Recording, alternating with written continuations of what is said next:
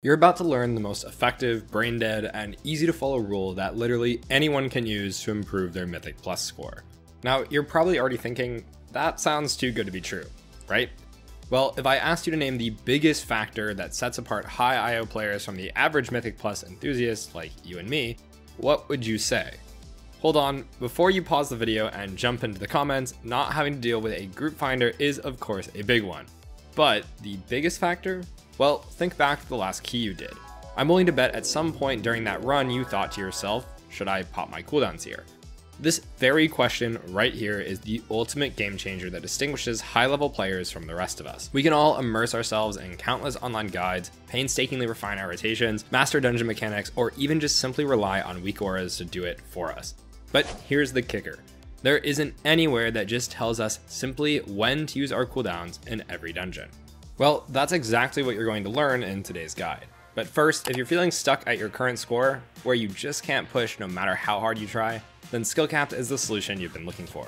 We have the most extensive collection of premium courses you can find anywhere, including dungeon walkthroughs from some of the best players in the world like Echo's very own Meeres, class courses made alongside some of the best and most renowned players of your spec, and so much more.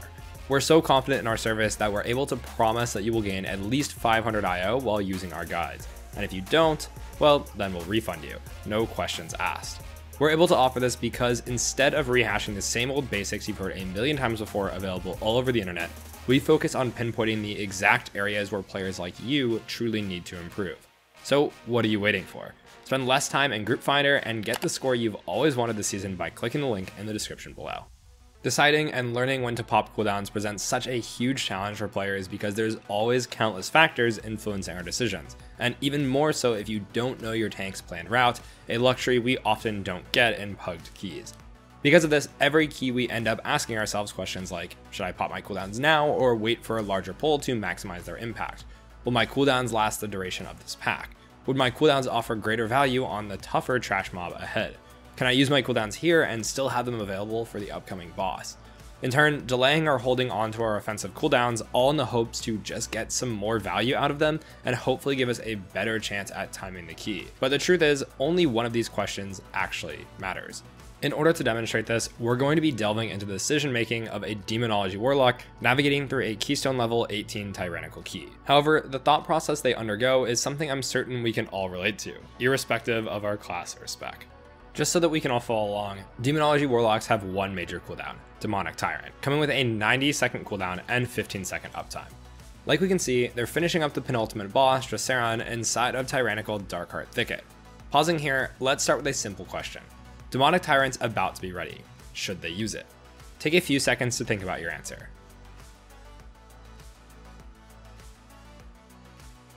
The answer is of course no. Clearly, we can see that the boss is dying way too fast and only has 4 million health left, which for a cooldown lasting 15 seconds wouldn't be worth using here. And our Warlock inside of this 18 key makes the correct decision to hold onto it. But now after jumping into the tunnel, all that stands between them and Xavius are a couple of very easy pulls. The tank grabs the first three mobs, which albeit is a rather small pull for a tyrannical key, but after all, they've just finished a boss, so the group may be low on cooldowns. So thinking about it, there's not much point popping Demonic Tyrant here either if our tank's planning on pulling something larger afterwards.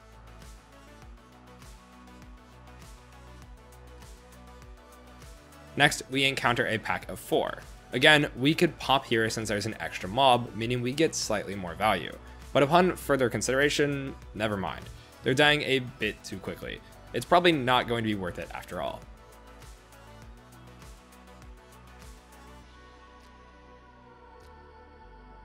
We'd be better off using Tyrant on the pack of bats. There are four of them, and they have slightly more health. But, uh, hold on a second. Remember, this is a tyrannical key. We need to ensure we have cooldowns ready on pull for the boss, and using them here would be cutting it too close. So let's just hold off until we get to Xavius. At this point, we're now at the boss, meaning it's time to build up some resources and aim to set up our burst as efficiently as possible. Alright, perfect. Now's the time to finally pop Tyrant. Regardless of your spec, what we just walked you through and the choices we saw our Warlock make weren't anything unusual. Every single one of them had a logical reason behind it. Yet what often gets overlooked is that within this time frame, almost two and a half minutes quietly ticked away. Meaning our Warlock lost well over an entire use of their strongest offensive cooldown, and in this case, even if they popped it immediately on the first trash pack and got minimal value, they still would have cleared the dungeon faster. And what we saw here does and will happen numerous times throughout your keys.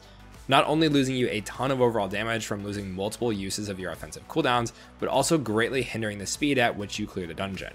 All it takes is to check out any aspiring Mythic Plus players' logs or even streams and pay close attention to how often they use their offensive cooldowns.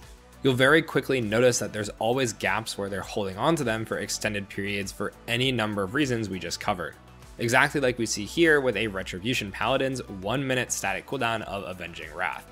On the flip side, compare this to a higher rated player across the same dungeon, the same affixes, and more or less the same amount of pulls, and you'll quickly notice that they rarely ever hold onto their cooldowns for any extended period at all.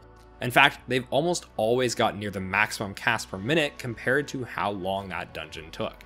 When it comes to popping your offensive cooldowns, top players understand that you don't need to try to outplay the dungeon by overthinking when and how you're going to get the highest value out of your cooldowns, as at that point you're just outplaying yourself. And why this is the case is because top players view dungeons very differently to players like you or me. Instead of breaking a dungeon up into multiple checkpoints or pulls, they view it as one entire entity. Allow me to explain. At their simplest form, dungeons are essentially a race. We want to get from the start to the end in the quickest time possible. Take an offensive cooldown like Avenging Wrath. This can be viewed exactly like having a short burst of speed that you can use every minute for 20 seconds to get you to the finish line faster. For a lot of us though, we instead tend to overthink and overcomplicate this and thus start trying to optimize when and how we're using that boost, in turn unnecessarily slowing us down and also losing uses across the race as a whole. To put this theory to the test, I want you to put yourself in the shoes of this Retribution Paladin. They're about to engage one final pack before pulling the Ancient Protectors inside of 22 Tyrannical Everbloom. Having the boss standing right in front of you and knowing that it's a tyrannical key, there's no denying that using Avenging Wrath here might seem like a complete waste. However, fast forward to the moment the boss is pulled, and we realize that even though we're dealing with one non-fortified trash pack, one minute has already passed. Just like that, an entire use of Avenging Wrath is lost. Now of course, you could argue that using Avenging Wrath would have disposed of the trash quicker, meaning they wouldn't have had it ready for when the boss is engaged. But hold that thought for a second. Here we find MDI Pro Shelly in the exact same situation, where they're fighting one final trash pack before they pull Oakheart on a 28 Tyrannical. You'd probably consider this a good time to start building up some damage and then aim to transition that to the boss, especially as this is one of the more challenging Tyrannical bosses Season 3 has to offer. However, Shelly still pops his offensive cooldowns on the trash, knowing full well that they're going straight into a boss fight after this pull. Will he have his Tyrant ready for the boss? No, of course he won't. But ask yourself, why does that actually matter? Instead, the real question you need to ask is, did he get value? And the answer is yes. The bottom line is that his offensive cooldowns last for the full duration of a trash pack that had to die anyways, for him and his group to progress forward in that dungeon. Not to mention, more importantly, by using his cooldown here, there's a much higher chance that he gets an additional use across the dungeon as a whole. Remember, more uses, more damage. The faster the dungeon gets cleared. We never want to risk losing an entire use of our cooldown across the dungeon. Whether it stems from a mindset derived from being raiders and not wanting to pop cooldowns on trash, or maybe just that we always want to look good on the boss damage meters. There's this desire and belief that we always need to save cooldowns for the start of boss pulls in Mythic Plus. And this right here is hands down one of the biggest misconceptions that all aspiring Mythic Plus players fall into. You know this because you've done it yourself. Now, don't get me wrong. Once you start getting to the absolute cutting edge level of keys, there are certain bosses where sometimes you'll need to save offensive cooldowns. A couple that come to mind are Mindbender Ghur'sha and Thrones of Tides in order to kill the Storm Stormflurry totems quickly, or the first boss and Murozond's Rise to dispose of the Radiant Barrier as soon as possible. But even then, top players still only delay cooldowns if these situations become a pressure point that they can't otherwise overcome, and in doing so, they won't lose a use across the dungeon. Whereas for the majority of us at our key levels, pressure points like this are actually far and few between, meaning it's perfectly fine to play slightly longer boss fights if we're speeding up the entirety of the dungeon as a whole. Remember those questions we mentioned at the start of the video? The ones we ask ourselves every dungeon? Well, the only one of these that really matters, and the number one rule to get on the path for pushing higher keys quicker and easier is to just simply ask yourself, will my offensive cooldown last for the duration of this pack? If the answer to that question is yes, then 9 times out of 10, you should just pop them. Naturally, as always, there are exceptions to any rule. But if you consistently strive for the maximum amount of uses of your offensives across the dungeon as a whole, then you're going to see rapid improvement. So while we may have not told you exactly where to pop your cooldowns in every single dungeon like we said we would, hopefully what we've given you instead here is an understanding that learning when to pop your cooldowns in every dungeon really isn't that complicated at all, unless you decide to make it that way. A very simple solution to a very common problem.